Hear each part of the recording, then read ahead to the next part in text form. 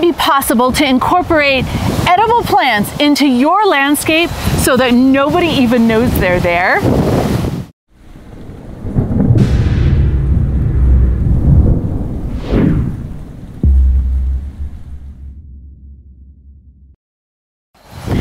Provident Preppers, I'm Kylene. And I'm Jonathan, and today we're talking about victory gardens. And no two victory gardens are just the same, but we want to show you some friends of ours who have created their own victory garden on a typical third acre lot. Um, but they've made it anything but typical. They've done some really great things. Now, these people live at a fairly high ele elevation, about a mile high. Um, they're zone five.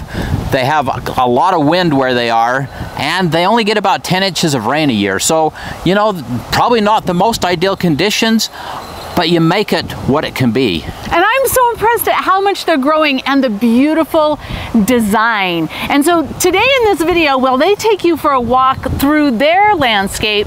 Um, pay really close attention because she's got some really valuable tips on how to make things grow. Good morning. We thought we'd give you a tour of our typical one-third acre suburban garden. We are in a zone 5. Now in the front yard it looks like a typical suburban garden until you look closely for a few things. First you'll see that we have a couple of currant bushes here which have been harvested.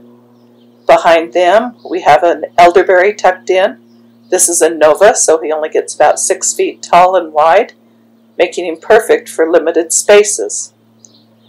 As you continue to look around the yard, you'll see that we have other things tucked in. For instance, we have some lavender. And again, most people driving by don't even notice these things, but we know that the medicinal herbs are there. And we also have some catmint tucked in. The catmint has been harvested once, and cut back so it's getting ready to bloom again. And of course you need to have roses for the rose hips. These are a pink double knockout rose. They've done really well here in our zone 5 and we actually have nine of them currently on the property. They make great barriers when they're close by a window. The thorny bushes tend to deter anybody who might want to get in where they shouldn't be but we also really enjoy the rose hips. Then we also have another patch of lavender close by the front door. This one's just about at the end of blooming, and we've harvested off of it, but it brings in a lot of wonderful pollinators. The bees love it. There's always bees around on it, and even some bumblebees that I saw this evening. There he is. He's got a lot of pollen on his legs, ready to go back. And then we have some bee balm, or Monarda as it's also known. Um, the first two patches here have finished blooming and are waiting to be deadheaded. And then the third patch over here is just getting ready. It's just starting to bloom, and it will take over and fill in that spot. Then in the island, we have calendula, in the front and um, it self-seeds. We planted it once and it just self-seeds and fills in and grows really well. And next to the calendula, kind of behind the rock, tucked there, is a comfrey, and we use both of these, the comfrey and the calendula, to make herbal healing salves. Then as you continue around to the back of the island, you'll see that we have coneflowers here, again, that are self-seeding. And over on the east side yard, we have some pots with some, again, more herbal things in them. We have some peppermint, some rosemary that we've harvested a bunch off of, and some aloe vera that we've divided this spring. We probably gave away 50, about the size of that one that we've replanted. And now then, looking over on the other side of this side yard, is where we have our blackberries growing. And yes, we have to net our blackberries, otherwise the birds would clean us out and we would get nothing. So the whole top part of this arbor serves as a platform for us to be able to drape the netting to keep the birds out. And then the simple explanation is we grow our blackberries more like grapes. There's a whole technique to it that we've developed over the years. Out of our four plants, when we have four full mature plants in through here, we get about a hundred pounds of blackberries for about six to eight weeks, depending on the year. It varies just a little bit. But those blackberries are so sweet, and they're about the size of almost ping pong balls. They're just huge and unbelievable. We absolutely have enjoyed them. Um, we do have problems with the ones closest to the street. You'll see that those are new ones when we go pan back that way. This is just showing you some of the berries and the trusses that are hanging there, waiting to be picked, and they'll be ready any day now to start picking. But as I was saying, the ones over closest to the street, unfortunately, we have some neighbors who spray their weeds with liquid weed spray, and it volatilizes um, when the temperatures get high and drifts over, and it has killed off our two big mature blackberry bushes that we had there. So we have replanted them again, and we're trying to do some education with the neighbors, so hopefully that'll make a difference. This is an example of the size of the blackberries I was talking about.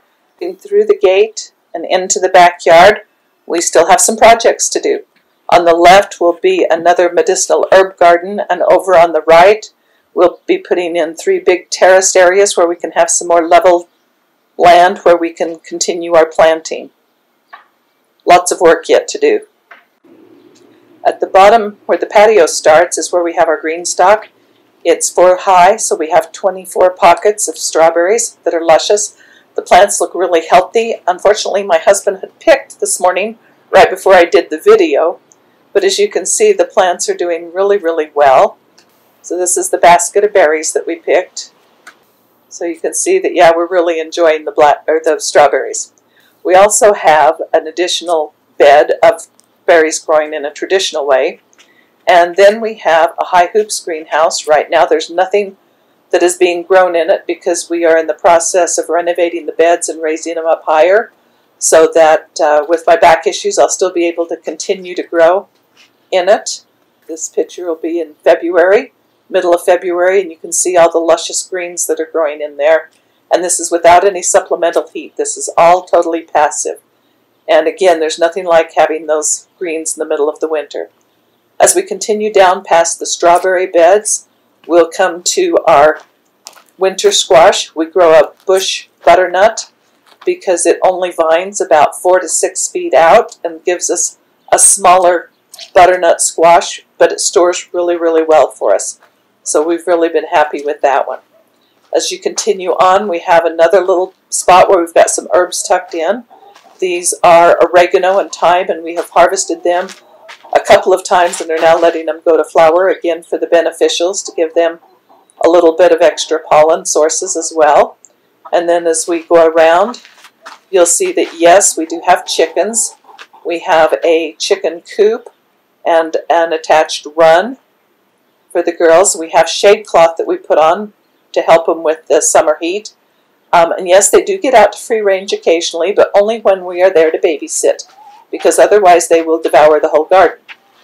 Now these are our tomatoes, and I'm sure you're wondering why we have this netting over it. First of all, the netting is called micro mesh, and it's we order it in bulk, and then we cut it in size in the sizes that we need, and we make a micro mesh sleeve. Just stitch up the side, and it has a casing that we stitch around the top run some yarn through it so we can close it up tight. And then as we put it over the tomatoes on the day that we plant the tomatoes out, we put the cages on them, then we put the micro mesh and we tuck it in around the bottoms so that nothing get in there. We have a little insect that's called a beet leafhopper that will come and some years we have lost 50% of our tomatoes to it because it brings a virus called curly top. And once you have that virus, there's no um, getting rid of it. You just have to get rid of the tomato plant. Since we started doing them this way, we have not lost a tomato plant. And these will be coming off any day now. As you can see, the tomatoes are bursting at their seams, so we need to take them out and put the stakes in and get them tied up. We also have purslane that um, grows everywhere in the garden, and we pull it up occasionally and feed it to the chickens. And we've got dill tucked in here, and of course marigolds all around. And we've also got some parsley tucked in around the tomato plants as well.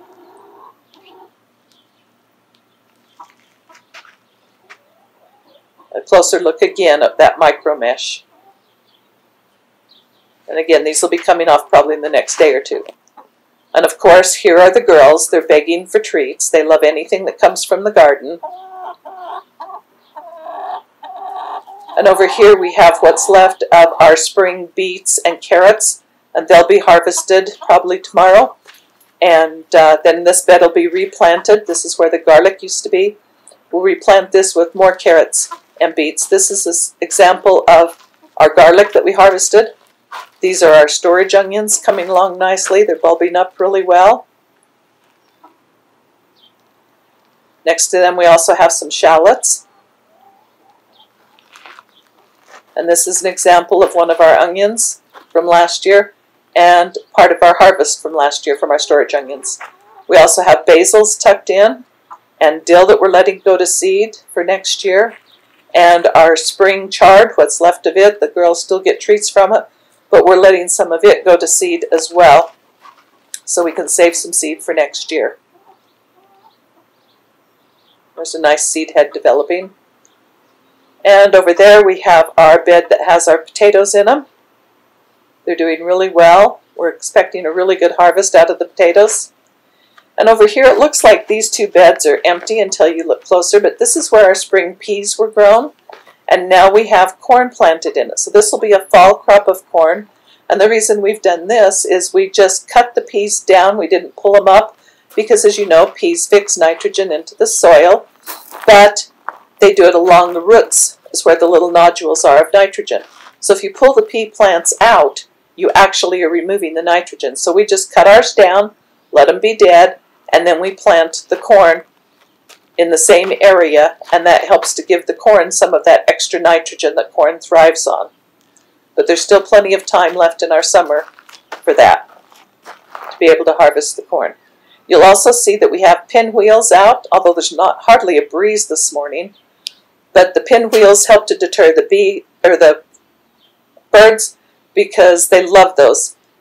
Uh, the corn as it's coming up. This is an example of our corn and tomatoes one day picking from last year. And then this is our zucchini. We grow a variety called Desert because it is one that the squash bugs don't like as well. And we have um, icicle radishes planted around it and those help to deter the squash vine borer. And then next to the zucchini, we'll see that we have peppers. We have two jalapeno peppers in the back, a Nadapeno in the front, and then on over to the left we have four California Wonder peppers. And again, those have done really, really well for us in the past. The jalapeno peppers are called Craig's Grande. Then we have some green beans. These are basically just for fresh eating this year because we had so many last year. I've still got a ton on the shelf. And behind it, we're experimenting with a dried bean called Tiger's Eye. It's kind of like a pinto bean. We have our little cucumber that's really struggling. It was some old, old seed I was trying to see if we could use up. And uh, it's more an experiment this year. We have some more basil tucked in, some celery, back through the beans, marigolds tucked everywhere. And then in this back bed, it's our shadiest, and we have additional shade cloth provided. We have our summer broccoli, and we have, um, in the front, we have some chard and some kale. And the broccoli runs all the way along the back of this bed. And then over towards the end of the bed, You'll see that we are growing uh, some cabbages. This is a late flat Dutch, a red acre that's just beginning to head, and a green acre that's just beginning to head. Again, tucked in is our sage plant. We've harvested off of it once and now it's going to flower and again we're letting it do that so the bees and other pollinators can have at it. These are our goji plants. We have three of them. They're a phoenix tears and we're growing them in pots right now. These are three of the plants that will move over into that bigger terraced area that I showed you as we just came in through the gate, and I said that we've got a lot of dirt work to do there. But these are uh, goji. Over here we have our compost bins. We have five of them. Each bin is three feet high, three feet wide, and three feet deep. And ours are arranged so that the most finished compost is here closest to the tap. And then as we, and it ha, each bin has slats that slide in and out, so it's really easy to get in and get to the compost to turn it.